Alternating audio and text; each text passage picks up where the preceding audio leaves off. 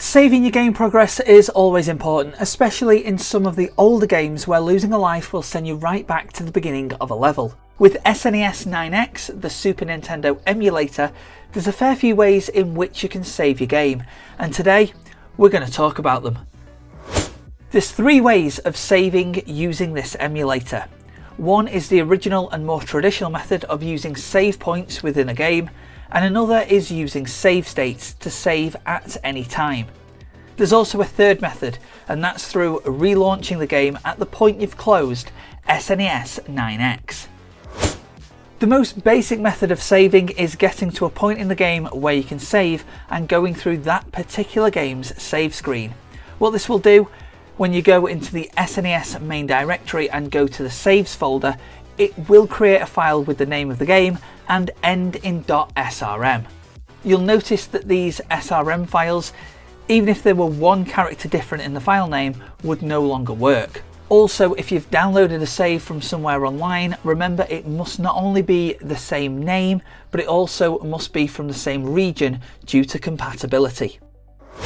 Save states are a convenient method of saving games at any time, using the hotkeys that you've assigned to them. These files will end in a range of .000 to .009, depending on the save slot that you've given them. Just hit the hotkey that you've assigned to create the save state. Now that that's done, I'm going to restart the emulator and if I press the hotkey combination again, once the game has loaded, it should return back to the point of save. These save states will then always exist until you overwrite them or delete them. They're also especially useful for those games where there's a long period between save areas. The third way to save is by using the OOPS or .oops file extension in the SNES 9X saves folder. This file is automatically created or overwritten if one already exists by the system every 5 minutes or when the emulator closes unexpectedly. To load from it, launch the game go to File and then Load Game Position. Do not press the Oops File option as it will overwrite the existing file that you want to load from.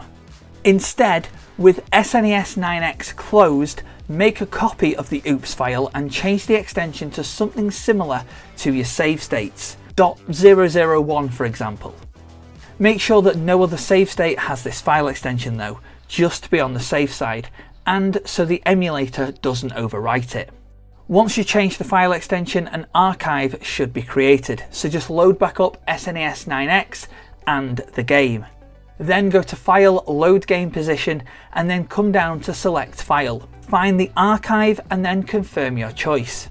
SNES 9X may overwrite the OOPS file at this point, so I would recommend making a proper save state or an in-game save as soon as possible. Remember, if it doesn't work, you have created that backup. You just need to take off the word copy in the file name to make it compatible with the game again, and then try the method again. To summarise, use the traditional saving method for what we're going to call long form saving. End of missions, after each unlock, things like that. Use save states as backups for your long form save, but also to save at any time within your game. But remember, these saves are limited. And finally, use the temporary save, the oops file, to get yourself back to where you were in case something goes wrong, such as a system or an emulator crash. So that was just a couple of ways that you can save your games using SNES 9X, the Super Nintendo emulator. If you found this video useful, feel free to share it with anybody else you might feel is having some trouble. Drop the video a like as well, and if Super Nintendo is your thing, there's more guides to SNES 9X on the channel, covering everything from setting up the emulator, activating cheats, and even playing online.